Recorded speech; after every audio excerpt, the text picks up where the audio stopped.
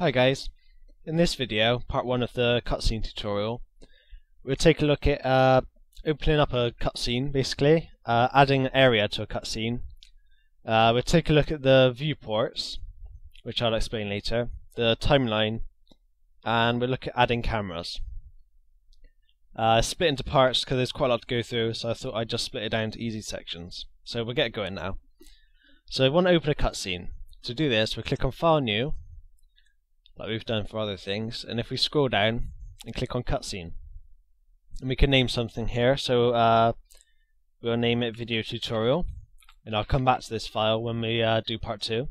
I'll click OK, and these two boxes come up. These are known as viewports, which is where you view the cutscene from.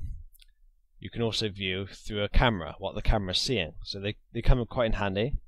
And I'll uh, show this in use in a minute. Down here on the left, you have uh, the different objects that are placed into your world.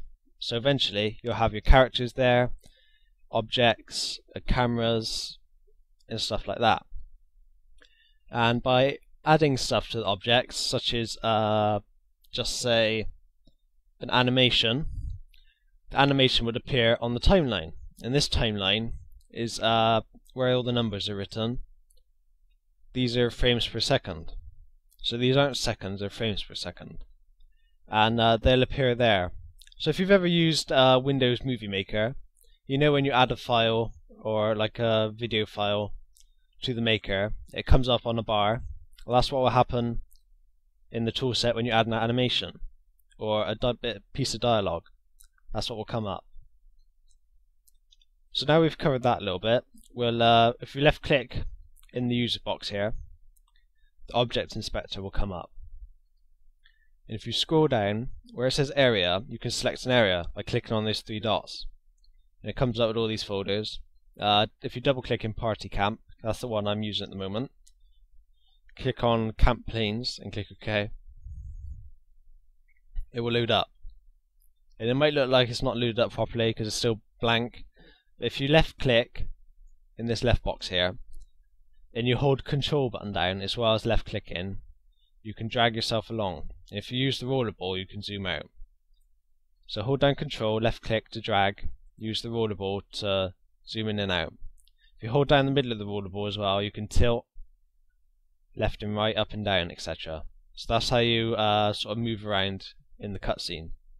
So we've loaded up area now, and uh, we want to add a camera. There's a camera already spawned at the beginning of the level, so if I click on that a sec, ah, don't worry, you can't see it here.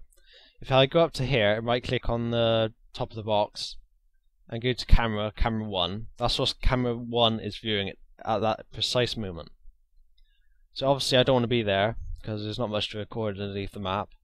So if you use the WASD keys and uh, use the middle mouse button, hold it down to pan, I can uh, just sort of move the camera back into the map and hopefully find the way back to the camp. There we go. There we go. And the camera's appeared here, look, on the left. So that's important. There's another thing as well. There's the master camera. Uh, I'm not quite sure what this does. It basically just sort of grounds all of the other cameras, I think. You use it to um, switch between cameras, which we'll come to in the second part of the tutorial. Um, and it also affects the textures, I believe, uh, depending on how close it is to the cutscene. Now, at the moment, that master camera, uh, I think, is at the beginning of the beginning of the map, somewhere down here, I think, or maybe it's at the other end. Just one minute. Here it is. You see that glowing area? That's the master camera. I'll just click on it there. If I've clicked on it, I don't think I have. Nope, I'll zoom in a bit. There we go, clicked on it. I'll put Z to 80 at the moment because I wanted to come up of my map.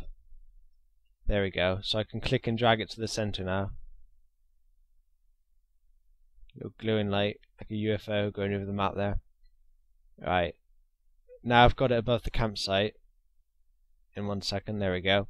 I can set it back to zero so it zooms down and uh, yeah that should be alright where it is should be somewhere under there.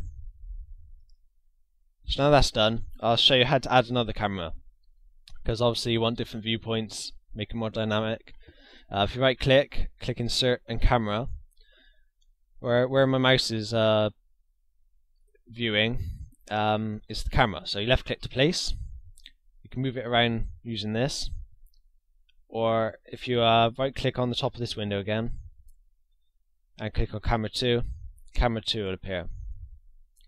And you can uh, move it around and all sorts of crazy stuff like that. Uh, I'll just quickly show you actually how to switch between cameras. So just say you want uh, camera 1 to be on there first. Right? So active camera, camera 1, that's already set for me. But 100 uh, frames per second down the line, I want to switch to camera 2. To do that, I'll right click on where it says active, click on add action, switch camera. And on the right here in the object inspector, I'll click camera 2. Okay? So I've switched between the cameras here. Now to view this, what you would actually see in the cutscene, if you right click and click on active camera, that pans down to the the camera that's active when you play the cutscene. And up here, there's these uh, crazy little buttons here that actually play the cutscene. So if I click play, it will stay on camera 1 there, switch to camera 2 there. You see? So that's how you switch to cameras uh, when you're actually doing the cutscene. So that's part one out of the way. In our part two, we'll look at adding creatures, panning cameras, and all sorts of other exciting things like that. So I hope this video was useful. Um, please subscribe. Many thanks to those that have, and those that have commented on my uh, YouTube page and on the forums. Uh, I'm very grateful. Um, there's some more videos on the way, so stay tuned and have fun with the toolset.